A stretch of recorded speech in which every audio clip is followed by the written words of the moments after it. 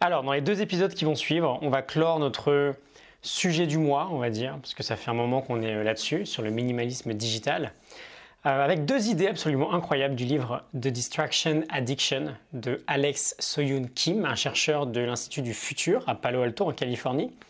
Ce que je vais te dire aujourd'hui, je trouve sincèrement que c'est super important, c'est une problématique qui m'a l'air assez grave et j'entends personne aborder ce sujet-là. C'est euh, l'apnée de l'email ou d'une manière plus générale l'apnée des écrans. Je ne sais pas si c'est ton cas euh, ou si tu es au courant, mais je pense que oui, de très nombreuses personnes souffrent de ce qu'on appelle l'apnée du sommeil, où euh, parfois une dizaine, voire une centaine de fois dans la nuit, on va involontairement bah, retenir notre respiration, parfois pendant de nombreuses secondes. C'est un syndrome qui toucherait près de 1,5 million de Français, selon le site Kernity. Je te mettrai un lien en description si tu veux vérifier tout ça. C'est a priori pas un nombre qui est facilement vérifiable et il y a peu de gens qui en souffrent, qui sont au courant.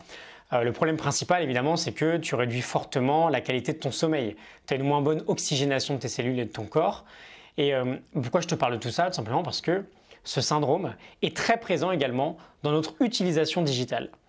J'avais déjà entendu parler de ça, de l'idée de l'apnée des écrans, où euh, énormément de personnes se retrouvaient complètement inconsciemment en apnée quand ils regardaient la télé ou quand ils étaient sur leur smartphone. Et bah, d'une manière un peu plus concrète, euh, l'auteur de The Distraction Addiction nous en parle dans son livre en amenant euh, Linda Stone dans la conversation, celle qui est à la base de l'expression du syndrome d'attention partielle permanente. Euh, cette idée que notre attention, justement, elle est complètement divisée en faisant plusieurs choses à la fois.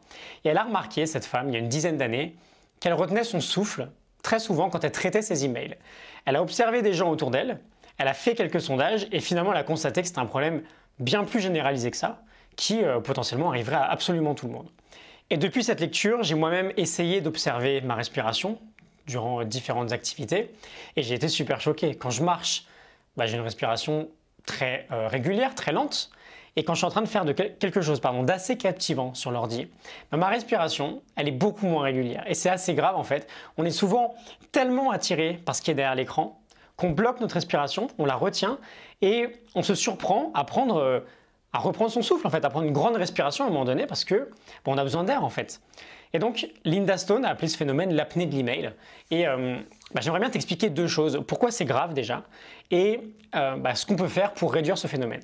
Alors, il y a évidemment plusieurs facteurs qui font que bah, ces épisodes d'apnée sont dangereux. Je ne vais pas trop aborder ceux basés sur la santé. Je ne me suis pas intéressé en profondeur, enfin pas assez en tout cas, pour t'en parler avec euh, suffisamment d'assurance. Mais j'ai abordé le sujet sur l'angle d'un domaine que je connais un peu mieux, c'est celui de la volonté, de l'autodiscipline et des distractions.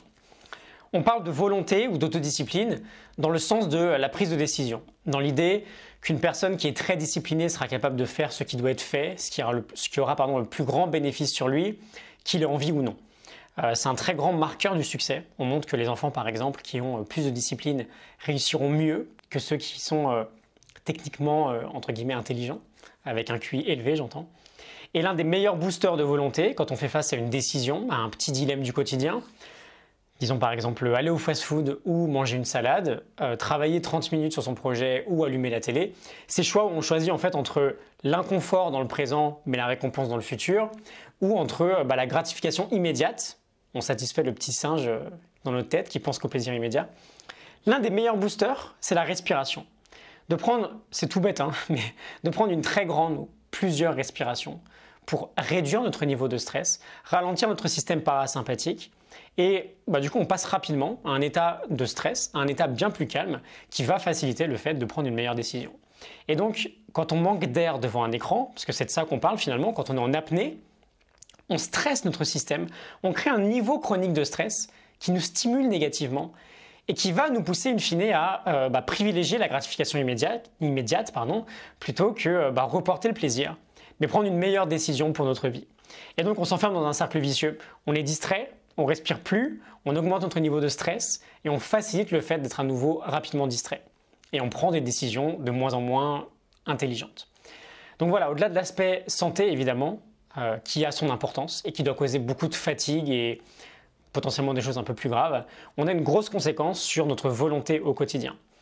Comment on gère tout ça du coup? Euh, J'ai une autre stat qui vient d'une étude de 2010 sponsorisée par Intel qui euh, a montré qu'on passait en moyenne 43 minutes par jour, c'est super affolant, tu vas voir, ça fait 11 jours par an, à attendre en fait. euh, digitalement, à attendre que notre ordinateur s'allume ou s'éteigne, ou que les pages internet ou les logiciels se chargent. On a un temps d'attente digital en fait, de presque trois quarts d'heure par jour en moyenne. Bon, d'un côté c'est terrible, non seulement le digital, on en a parlé des milliers de fois, peut-être pas des milliers mais beaucoup, nous fait perdre un temps fou, nous spoil un temps précieux qu'on pourrait utiliser pour travailler sur nous, pour faire des choses un peu plus intelligentes. Mais en plus de ça, bah, on a du temps littéralement perdu dans nos périodes d'utilisation digitale. D'un autre côté, bon ça c'est grave, mais d'un autre côté on peut peut-être se dire que, bah ok, ces moments où on attend, on va essayer de les utiliser avec un peu plus de sagesse. On va prendre l'habitude, dès qu'on attend devant une page, un chargement, d'auditer notre respiration. Donc, dès qu'on attend quelque chose sur Internet, on check notre respiration. Est-ce qu'elle est lente? Est-ce qu'elle est régulière? Est-ce qu'elle est brutale et irrégulière?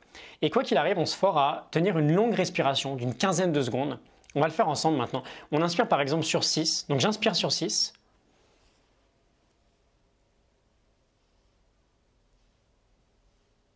Je bloque sur 2, 3. Et j'expire sur 8.